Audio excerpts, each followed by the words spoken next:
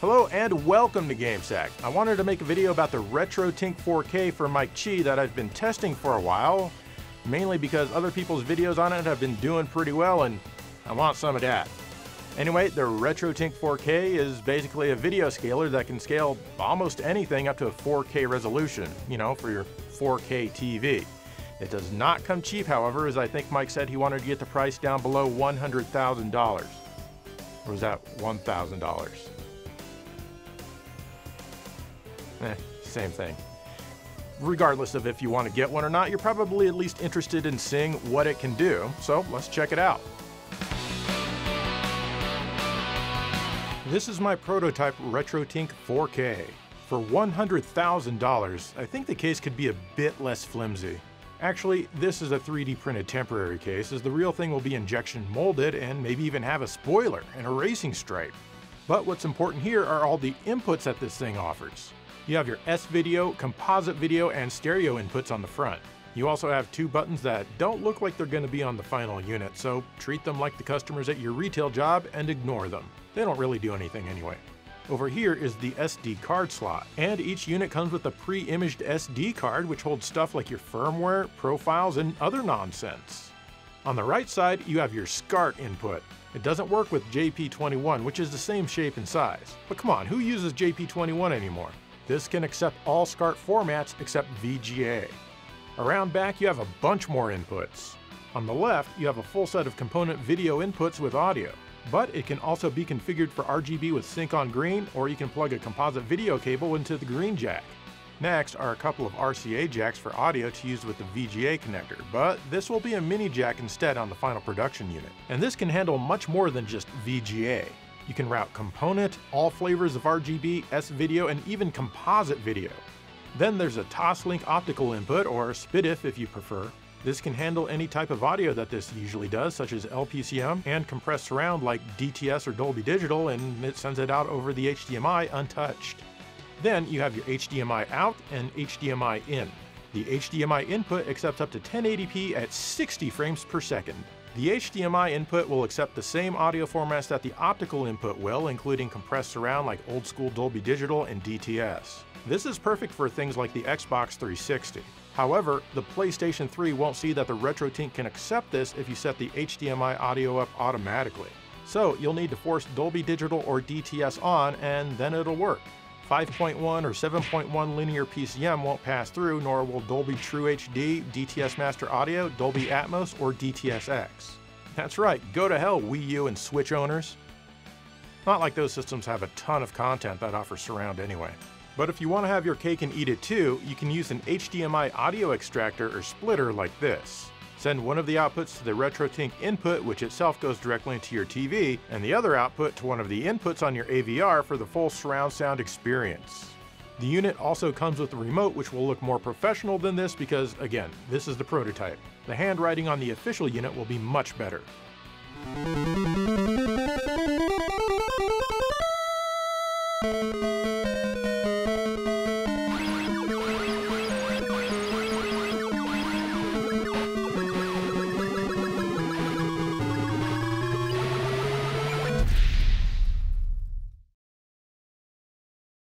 Okay, now that we've taken a look at the unit itself, let's check out what it actually does.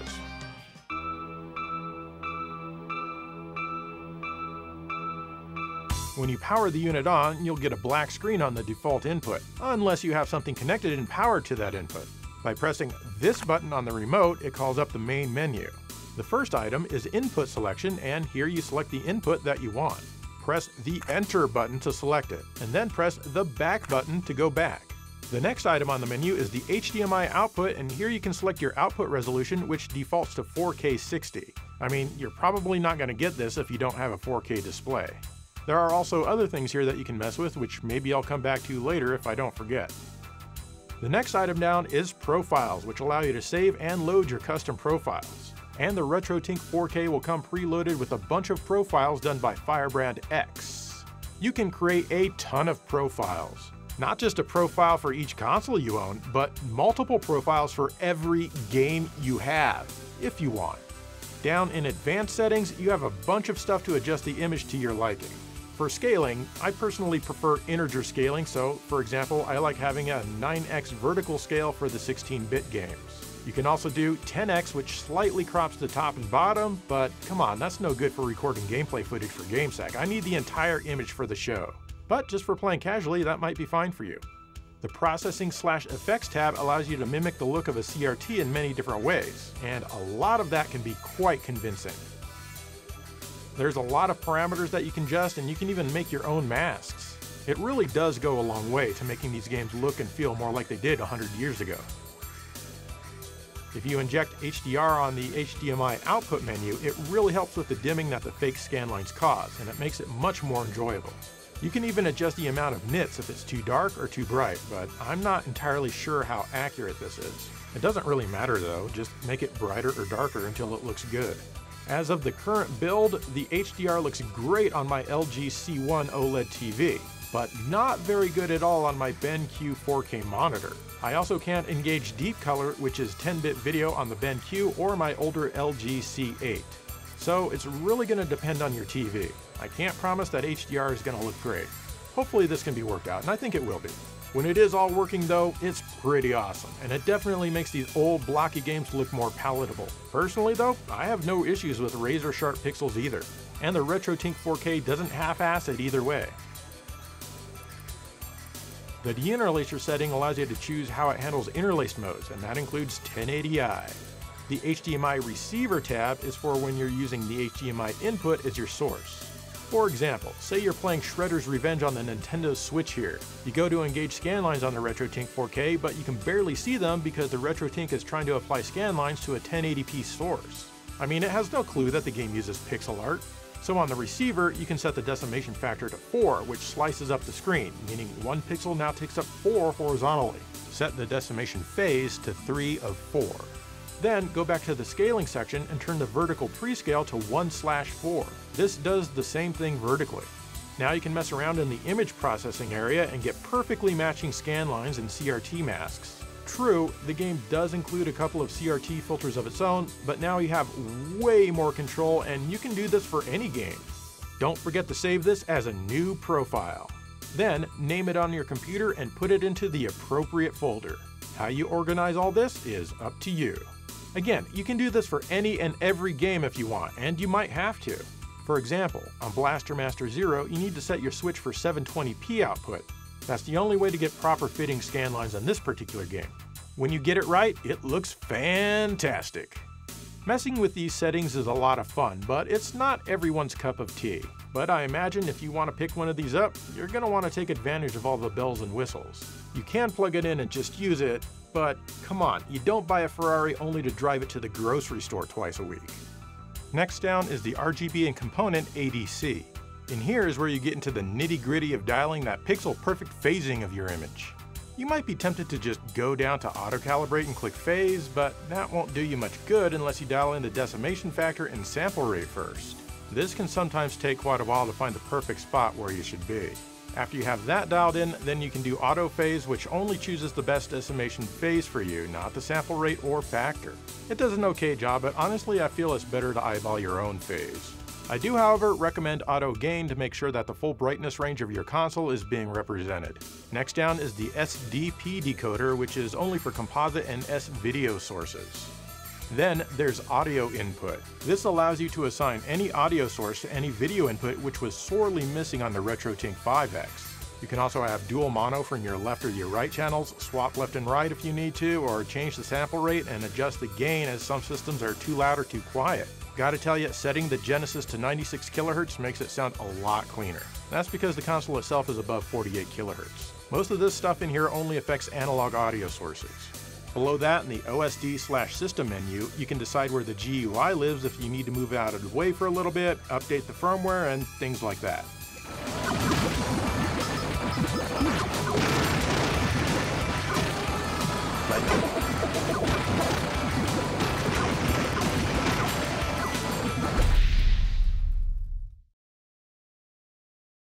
So, what else can it do? Lots. Now, there's no way I'm going to remember to cover every single feature. And also, I'm quite lazy, so there's that to take into account, but I can show you gameplay from various consoles and talk about my general experiences with it. So, let's do it. Turbo's all yours. First up, let's check out some GameCube footage. I'm basically just showing consoles randomly in this part. Well, more or less. Here, I'm using the official Nintendo component cables and the console is running in 480p. It scales up to 4K and it looks great, YouTube compression notwithstanding, of course. I also have a profile for widescreen games and again, it's amazing. I'm using profiles that I created myself along with a few from Firebrand X for games that appear in this section. How about Resident Evil 4, which is letterboxed? Well, now you can zoom it into exactly full screen. It looks a little rough because you have less vertical resolution than a proper anamorphic widescreen presentation, but otherwise it's perfectly playable. Again, this is in 480p output at 4K. Since we're on the GameCube, let's look at the Game Boy player running some Castlevania. It looks okay, but it certainly doesn't fill the screen. Thankfully, you can zoom it to your exact screen size with the scaling controls. It still looks pretty muddy, but at least you can play it full screen. Now, here's the Game Boy player using Swiss running the GBI app, which is much cleaner. It can output in 360p, and here the RetroTink 4K is providing an 11x scale. That looks awesome, don't you think? You can do this with the component cables, or you can even use a digital solution like the Carby. Of course, you can even engage a couple of different LCD filters if you have an aversion to straight up pixels. Or you can even just use regular scan lines if you prefer. But hey, might as well go for the LCD look and feel like you're playing on a giant 77 inch Game Boy Advance or however big your TV is. Let's swing over to the 16 bit consoles for a sec. This is a Genesis game that uses a 320 pixel wide resolution running at a 9x scale. It almost goes without saying, but I'll say it anyway, it looks awesome. And even games that use a wimpy 256 pixel wide resolution look sharp as a tack as well. Nice. You can increase the horizontal softness if you really must get rid of the dithering for some reason. I could never play like this, but if you add some scan lines and other effects, it might help it to appear like it's a tad sharper. Of course, we can't forget about the few games that have an interlaced mode, and as you can see, the RetroTink 4K handles them as it should. The interlacing can really only be so good though. Going over to the Super Nintendo, games that run at 256 pixels wide, which is most of them, look as sharp as a tack at a 9x scale. Firebrand X even created an 11x scale profile for the letterboxed games like Street Fighter II and many of the other games that are letterboxed, so now it's almost full screen. He also did a profile for the few games that run at an incredible resolution of 512 pixels wide, like Kirby's Dream Land 3 here, which mixes low and high resolution assets. You can see that the foreground trees use the high resolution mode, whereas everything else is a low res 256 pixels. When the game transitions to a 256 pixel only screen, it still looks perfect. Naturally, there's even a Firebrand X profile for Super Nintendo games that run in interlaced mode. The PC Engine slash TurboGrafx 16 looks good, but as of right now, I can't use it with HD Retrovision component cables, only SCART or composite. If I try with component, it usually doesn't even see that anything is connected. I don't know why only the component input is affected. I really hope that this gets fixed ASAP. The NES looks phenomenal at 9x scale, which gets everything on the screen. Love me some Castlevania 3. It might even look better at 10x, as often NES games will have glitches outside of this area anyway. Firebrand X even made a left crop version of both profiles when you play a game that gets kind of chunky on its left side. The Master System looks pretty good at 11x scale since every game without exception is letterboxed. Some games will show a colored border on the left that you may wonder why is that not cropped out? Well, because when you go to a non-scrolling screen, sometimes this area can fill in with graphics. Okay, let's get a little bit more crazy here. This is the PSP with its own component video output. I have never seen the PSP look so good. Now, it's not 100% perfect, but I'm not sure it could get any better on the real hardware. My profile here scales it exactly 8x in both dimensions. Of course, you can also toss an LCD filter on here and play it that way if you'd like it to look more like the actual PSP screen. You might be wondering how 3D PSP games look scaled up like this. Well, here you go. It's not bad at all. And here's a Vita game running on the PlayStation TV. Of course, you're going to need a way to bypass the HDCP to feed it into the RetroTink. It doesn't look bad at all. But if your PS TV is hacked and has Sharpscale installed, the scaling is even cleaner at 4x. Most people probably aren't going to notice the difference, but it's nice for those who are anal about such things, like myself. Now, let's check out the PlayStation 2. I want to show this console because the large majority of the games run in interlaced mode only. Like I said earlier, deinterlacing can only be so good. You'll often run into artifacts like this when something's flashing on screen. Blech. If you change the deinterlacing method to Bob, then that doesn't happen, but there's a lot of monitors and TVs out there that don't like Bob deinterlacing. They get some weird image retention thing going on. I think only IPS screens are like that though. The PlayStation 2 looks phenomenal when it's in 480p though. Some games can be forced into 480p with GSM. Sadly, not very many of them display properly this way. I wish the PlayStation 2 community was more active because I think they could develop this and make it super awesome. I'd love it if all games could be forced into 480p. If you run a game in 1080i like Gran Turismo 4 here, you will have all flavors of deinterlacing available to you, including motion adaptive. I feel it does a really good job here as any artifacts are super tiny at this high resolution. One interesting thing that Mike's working on is 2-2 pull down.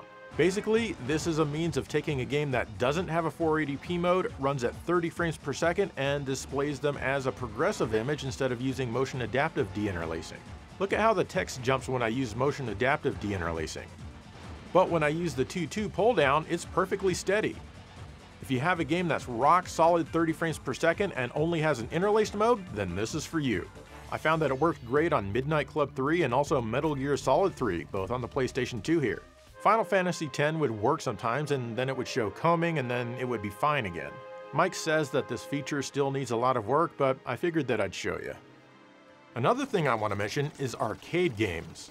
These look incredible on the RetroTink 4K. Granted, the parts on a lot of these boards have aged, so the output isn't the sharpest thing ever, but it's pretty damn close. I've never seen such a good looking image come from the real hardware. I really don't think it can get much better, and honestly, it kind of rejuvenates them, for a lack of better description. They each need their own profile though, as each board is basically its own system. And if you want, you can slap some filters on them and pretend you're at the arcade playing on a giant screen or something. And I know some of you are wondering what game this is. Well, I'm not going to tell you because I'm mean. Just kidding, it's Gun Force 2 from Irem, and it's awesome! I also tried some mini consoles like the Genesis Mini 2 here, and it works. I also tried the TurboGrafx 16 Mini, the Sega Astro City Mini, and the Taito Egret 2 Mini. It looks a little sharper this way rather than scaled up by the TV itself. If you use the same technique to get scan lines that I mentioned back when talking about the Switch, well, you can do that here as well. I don't have any of the Nintendo Classic slash mini consoles to test, but if you use one, you'll want to use the Pixel Perfect mode and just stretch it a little horizontally with the RetroTink. That'll give you something closer to the proper aspect ratio as it's too skinny when playing on the Classic. Lastly, the Analogue line of consoles like the Super NT here work great, though they can be a little annoying to set up. They don't have a 240p over HDMI output sadly, so you'll want to set the Analogue console to 720p output if you want to see the entire image. Then in the width and height options on the Analogue system, set everything so it's exactly 3x. Then on the RetroTink, you'll need to resize it to however it is that you want it. Oh, and don't forget to check Disable H and V interpolation on the Analogue console, otherwise it's going to look like complete ass. I always thought these checkboxes were backwards, you should uncheck them if you don't want it. Now you can add scan lines and effects which are much better than what's built into the Analogue console. It takes a bit of work as well as an understanding of how it all does work, but once you get it set up, then it looks pretty damned awesome if I do say so myself. I'm betting that Firebrand X will eventually have some profiles for these systems along with some great instructions.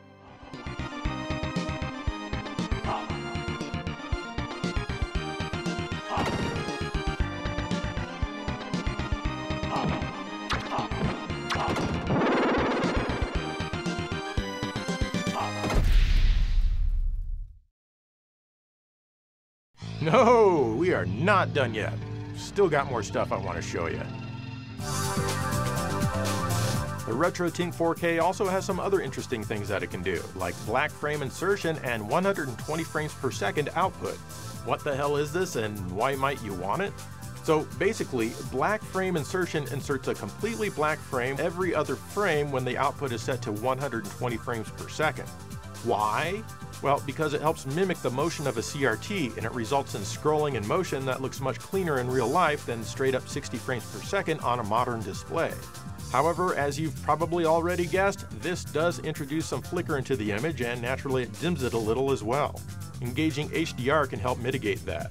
But seriously, it does make the edges of fast moving things seem cleaner when this is engaged, and most people can get used to the flicker, which honestly is super fast.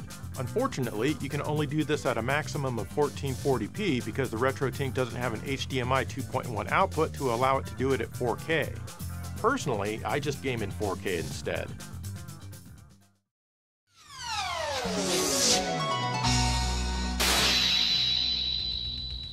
The Tink also does a pretty good job of upscaling a lot of my old home movie videotapes. The upscaling is very clean all things considered, and this basically looks as good as it possibly can. It's not perfect though, as it can't really do anything about time-based errors, which basically happens anytime there's an in-camera cut, which is just stopping and starting the recording. And back when I made these videos, let's just say there were tons of in-camera cuts.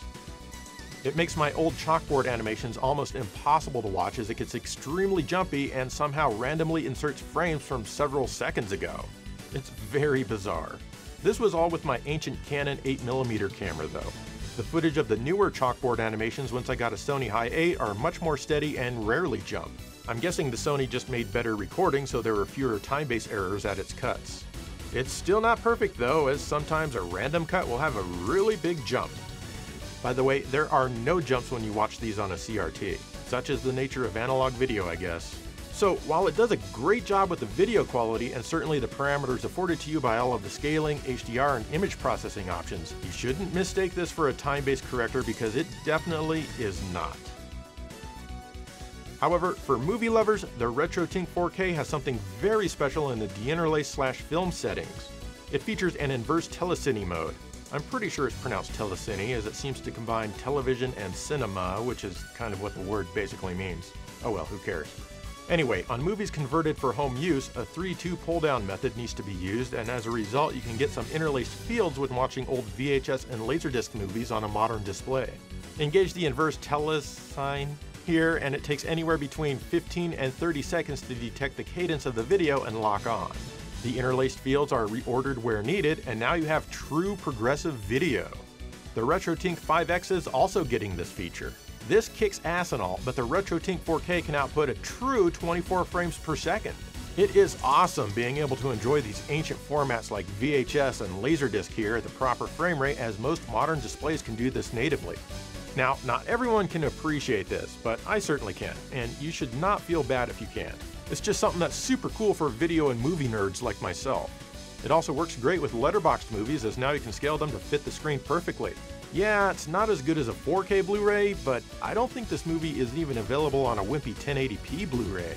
Come on, James Cameron, what's the holdup? Gonna need aliens as well while you're at it. And some movies, this is even more important as there's no true 24 frame per second progressive version of this one, not of the original one that matters anyway. You could even output this at 96 frames per second and engage black frame insertion to replicate the same flicker as a film projector. As a movie dweeb, I really like this feature, and it breathes new life into the old VHS and Laserdisc collection. R2-D2, where are you? So, what do I wish the RetroTink 4K could do better? Well, obviously, I'd like to be able to use my TurboGrafx 16 or SuperGrafx via HD RetroVision cables because that's how it's currently hooked up to my system. But I'm fairly certain that Mike will be able to figure this out and have it fixed hopefully before the RetroTink is released. I also wish it could pass linear PCM surround sound and other formats like Dolby Atmos through the HDMI input, however, I don't believe this is possible with the hardware.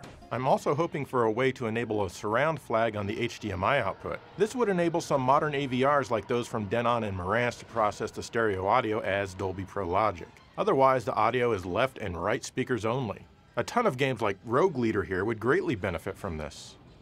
I'd like to be able to name my profiles when I save them so I don't have to remember what new profile 1 and new profile 2 is by the time I take my SD card to the computer to rename them. And of course, this is selfish, but I wish it could handle time-based errors in video better instead of jumping at some cuts.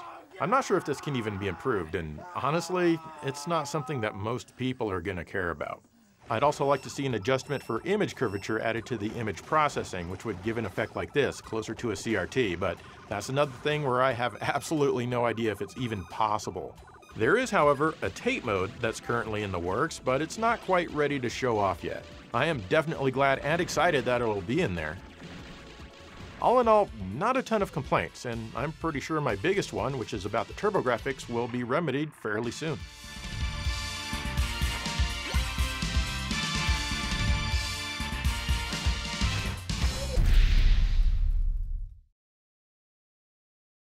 And there you go, the RetroTink 4K before it's even released. Now, Mike says he wants to get it out this year, and I really hope he's able to. As with anything I review in this nature, it's gonna get better in the future as the firmware evolves, but it's damned awesome right now. In fact, it's already become the daily driver for capturing footage for the show. So are you gonna pick one of these bad boys up, or does it piss you off merely because it exists? Let me know. In the meantime, thank you for watching GameSack.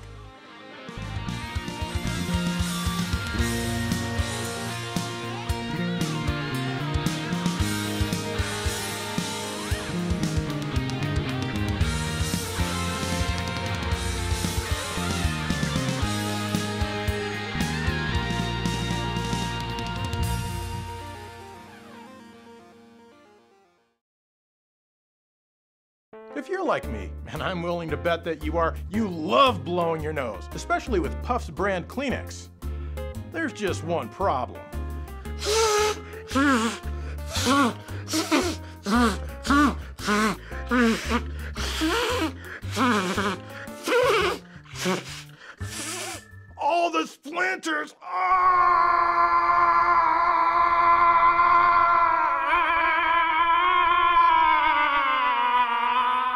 Tissues are a paper product, and all paper products come from wood, and wood can give you splinters. So, Puffs brand Kleenex now has less splinters.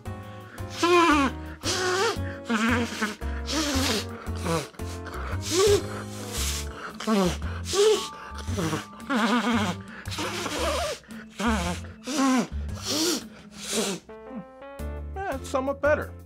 Puffs brand Kleenex, now with less splinters.